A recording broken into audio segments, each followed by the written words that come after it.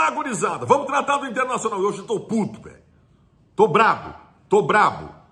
As coisas são sempre para prejudicar o Internacional. Vamos falar sobre isso. Inter News começando. Tá inscrito no canal? Olha, dá joinha agora, não deixa para depois. Solta essa porra dessa vinheta também.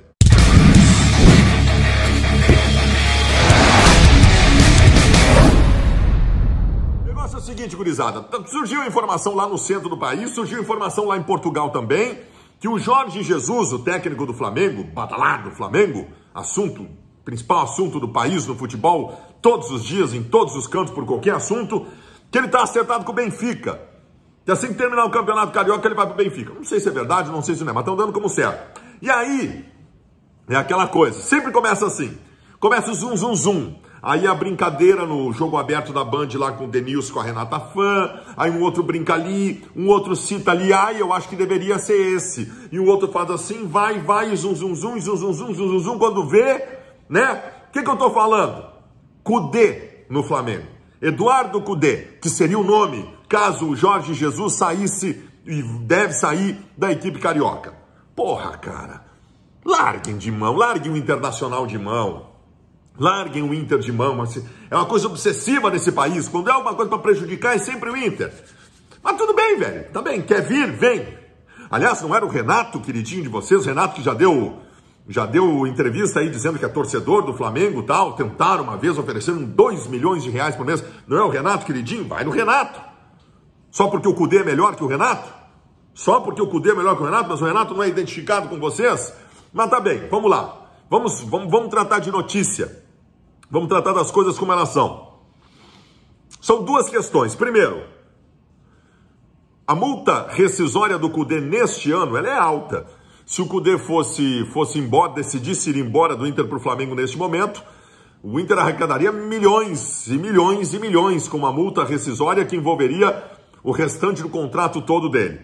Mas o Flamengo não tem problema com milhões, milhões e milhões, né? E o Inter também o Inter quer milhões, milhões e milhões, mas não com a saída do seu treinador, que é o melhor treinador do país hoje. Mas não é isso que me importa. Não é isso que me faz ter convicção de que o Cudê não vai sair. O que me faz convicção que o Cudê não vai sair, ter convicção que o Cudê não vai sair, é o que é o, que é o Cudê, velho.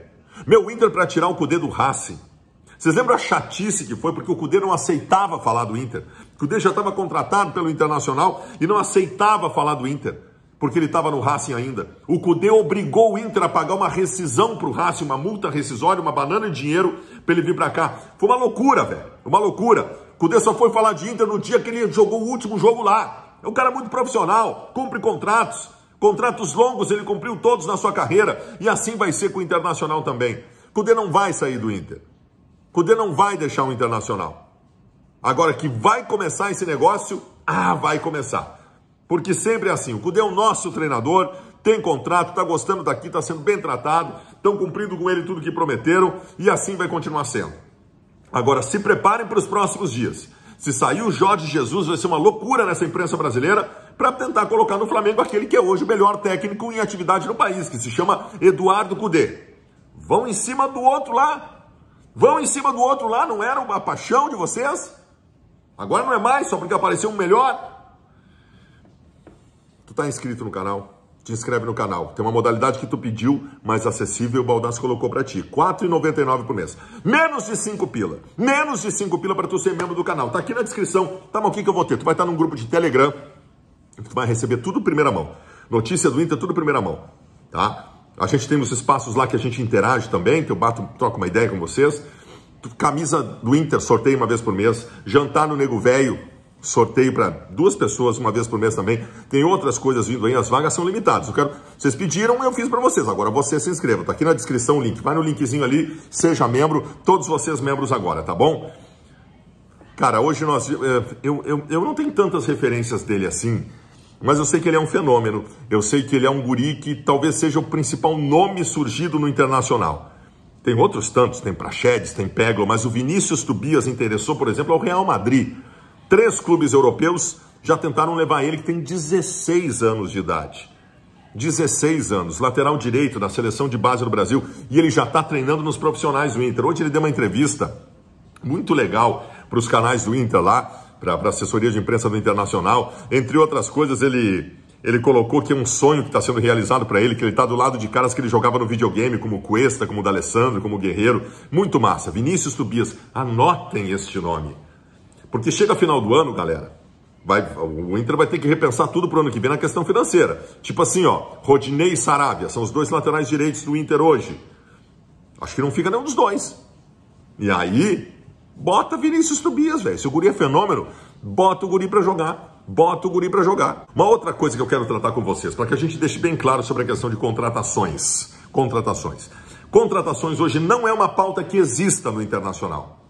O Inter não tem, como se tem quase sempre, uma pauta permanente de vamos tentar contratar aqui, enquanto eu tento contratar esse aqui, aqui tu tenta contratar esse aqui lá. Não, não tem. Tá zerado? Tá parado total. O Internacional contrata ou vai contratar nos próximos momentos em duas possibilidades. E eu já falei para vocês. Uma delas é tu ter um negócio absurdamente de ocasião e diante de uma necessidade.